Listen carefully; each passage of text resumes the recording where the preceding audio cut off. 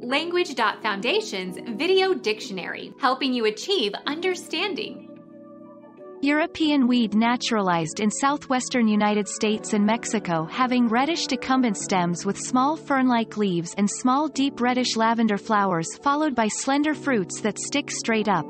Often grown for forage. Alfilaria, Alfileria, Clocks, Erodium cicutarium, Filaria.